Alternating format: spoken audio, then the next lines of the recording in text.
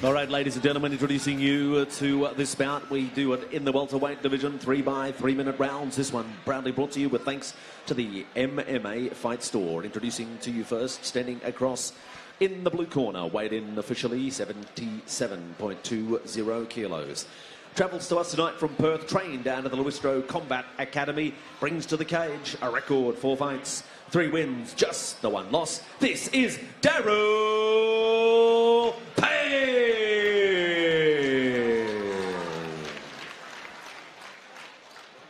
His opponent standing across in the red corner, weighed in officially 77.25 kilos. From the Gold Coast, trained out of the fight centre, his record two fights for two wins. Make some noise. This is Nate Law. Referee, third man in the middle here, Mr. Peter Hickmott. This fight brought to you by MMA Fight Store, now with their convenient Brisbane store opened and running. Getting quality equipment has never been easier. Head to MMAFightStore.com.au to upgrade your MMA gear today. Daryl, you good? Nate, you good? Start.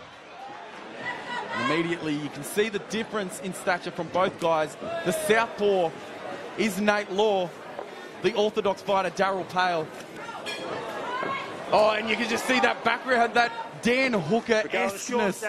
No backstep taken from Nate Law and Daryl Paille making no no misconceptions about what he wants to do. He doesn't want to stand with the striker. Even with the power possible advantage, he wants to get into a grappling exchange and he manages to do that almost immediately.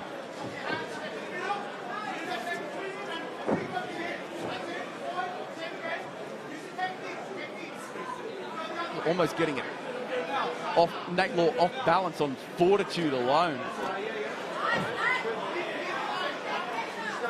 Strikes don't look like much, but when your face is that open, they do at least make you reconsider the position you're in. You see that knee shield from Nate Law, especially when a guy's that big with legs that long. Oh, and he reverses the position and just takes the back like a ghost. He could be under the chin. They're facing away from that, and Daryl Paille just showing fantastic composure. Fights the grips.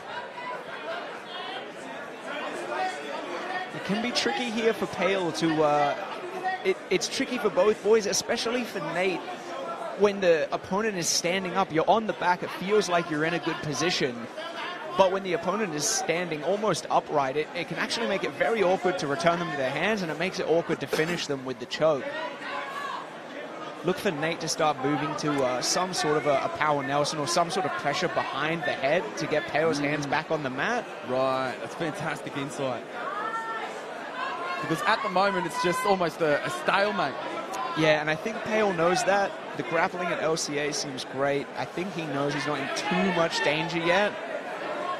Thumb posting the elbow immediately. Oh, and that explosiveness that we just spoke about, Nate Law getting a taste of it, tries to shoot him, but at least manages to turn the situation around, getting Daryl Paille up against the cage. Yeah, that was really nice by Paille, just staying calm. He managed to find his way out, back up against the fence, but much better than having someone on your back. I love this division. It's just the perfect blend of power and athleticism. And at a moment's notice, like we just saw from Daryl Paille, just the ability to explode and turn things around. Both boys working still in here. Go short. It's almost like a gentleman's agreement. We're going to hang here for a second, see what we can get up on each other. Immediately going back to work. An interesting round, definitely. Oh, I love that. That's such a Dan Hooker thing to do. As soon as they grab onto your head, they're going for that tight clinch, just working the body and going up to the head. Was a difficult round to score. They both had their moments, didn't they? But Nate Law looking to get the better of some of it.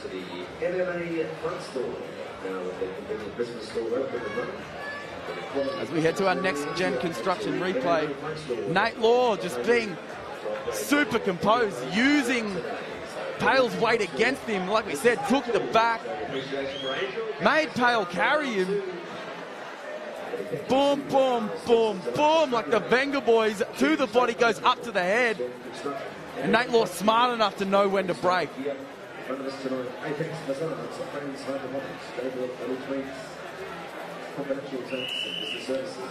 It's a good feeling out round. Both boys learning a lot about each other.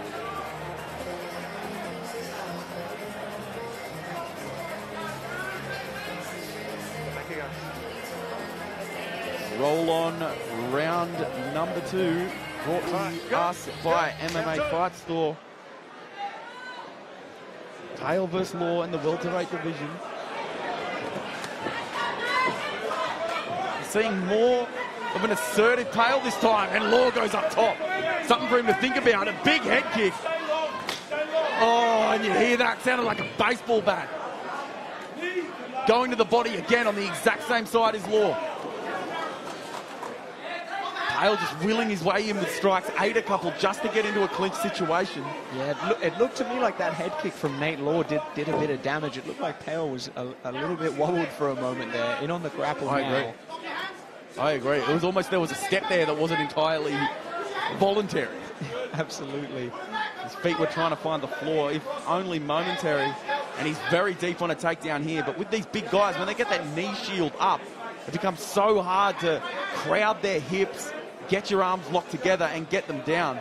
Yeah, it can be very tiring holding that leg up too. If they put that body weight on you, it's tiring holding that single. Work is the word. Nate Law, oh, and it's so smart of Paille to know when he'd lost it and being able to strike. Nate Law giving back as good as he got, if not better. And just hammers that inside leg kick. The feelers going to the body again. I love that. How composed is Law with the, the power from Paille. Again going high on that open side. Well timed shot, but Paille was all over it.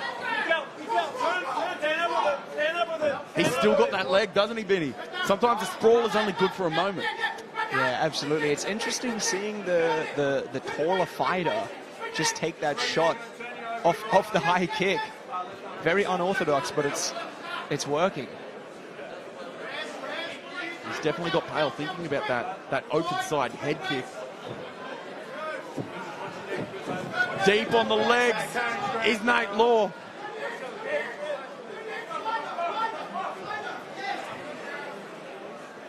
Right in the corner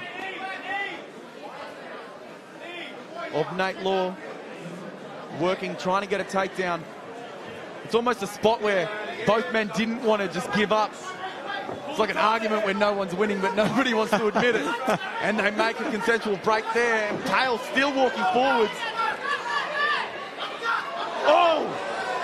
Law just switching up seamlessly from clinch strikes into open strikes. Yeah, that was a beautiful knee up the center by Law. Oh, just putting everything into him, a little bit too telegraphed. It's like he's throwing from the floor, trying to get in on the hips again. He does so.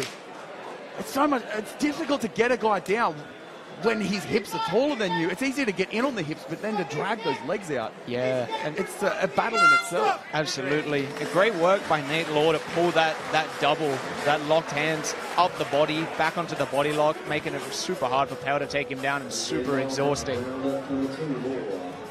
Two very contentious rounds as we go to our next gen constructions replay. Boom! You can see that. And the feet of Paille not under him for even just a moment, but he recoups. And you're seeing Nate Law just with the striking background and that open side kick to the body. He's able to switch it up so well and again doubles it up. The knee on the open side with the open side hook. Two contentious rounds in the books as we head into a third.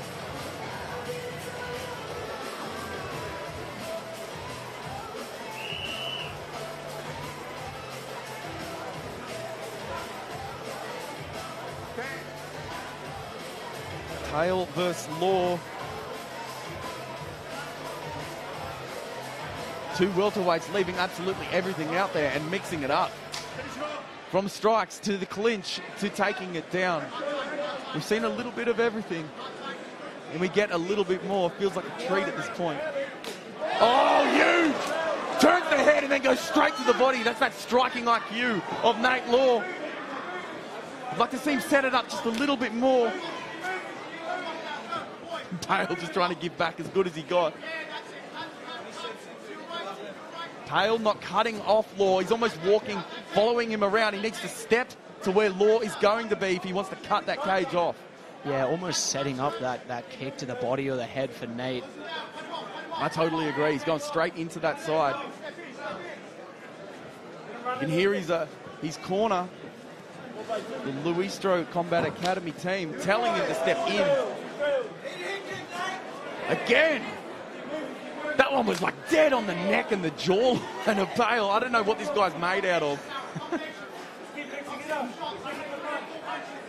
I don't think Nate Law knows either. He's staying super composed, but he's hitting with everything except for the kitchen sink.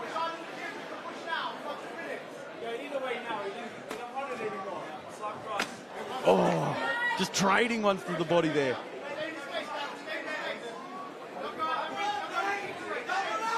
Paille almost becoming way too complacent. Yeah, he, he, he almost looks like he's a little bit Oh, tired big now. right hand. Swinging Very for the well could be. fences. Yeah, you might as well. He might be conserving his energy, just looking for that one big shot, but as he does so, the fight is ticking away. Oh, up top is Law. I'd like to see a little bit more of the hands of Law, but it's very, very difficult to say when you've got a striker. With the explosiveness of Paille walking, constantly following you everywhere you go. I like those feints from Law. Paille listening to his corner, cutting him off rather than following. I wouldn't mind seeing a few numbers in a row from either man. Interesting Law shoots there. He was doing a great job keeping Paille at, at, at range with those kicks. He was just picking him apart. He's arguably in front. He might look to keep it that way. While winning the, grappling exchange. Another very deep sprawl from Paille. Attacks the neck now of Nate Law, who finds himself turtled up.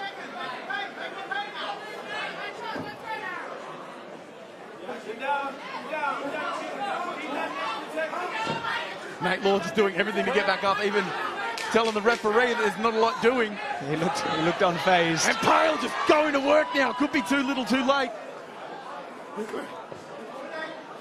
Stop! Oh, just throwing the heat there. And to your point, Jaden Benny, as soon as the fight has been called, Paille just seemed to, seeming to take in a very, very deep breath.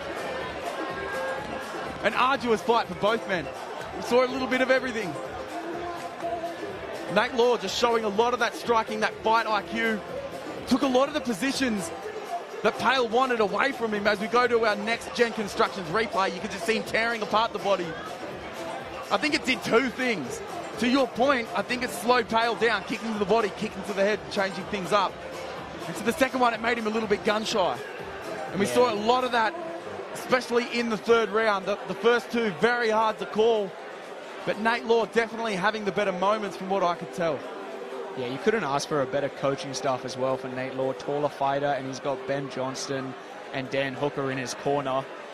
Absolutely going to know how to use the weapons he's got. Take a hit, son. I was wobbling with a few of them. So you can take a hit. I was wobbling with a few All of right, them. ladies and gentlemen, we'll get set to make this one official. Put your hands together for our two fighters, though. Here, another great display of this one. It's brought to you with thanks to the MMA Fight Store. Ladies and gentlemen, we go to the judges' scorecards. And on all three cards, it is 30 to 27, a unanimous decision, and it goes to the red corner, Nate Law. As expected, Nate Law